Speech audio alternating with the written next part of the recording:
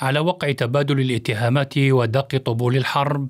يبدو أن موسكو وواشنطن باتتا على وفاق بأن الدبلوماسية هي المسلك الكفيل باحتواء الأزمة المتصاعدة بينهما بسبب أوكرانيا.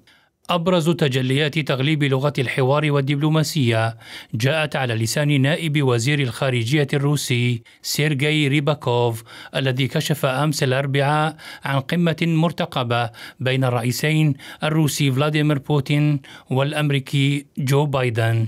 وضمن هذا المسعى يأتي اللقاء بين وزيري خارجية البلدين الروسي سيرجي لافروف ونظيره الأمريكي أنتوني بلينكين اليوم في ستوكهولم في محاولة لتلطيف الأجواء المتشنجة على خلفية تعزيزات عسكرية روسية على الحدود الأوكرانية وتمهيدا للقمة بين زعيمي البلدين.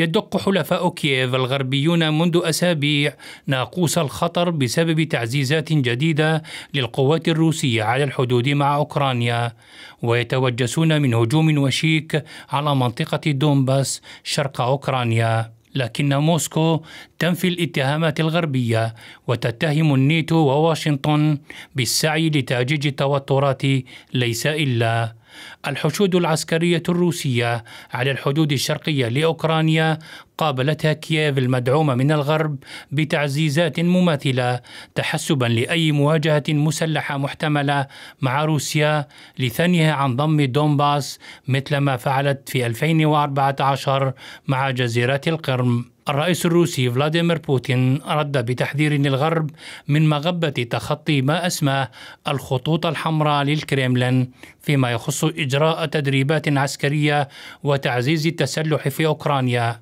تفيد كل المؤشرات على الأرض أن موسم الحرب في الشرق قد حان لكن الآمال تبقى معلقة على الآلة الدبلوماسية للحقول دون انطلاقه.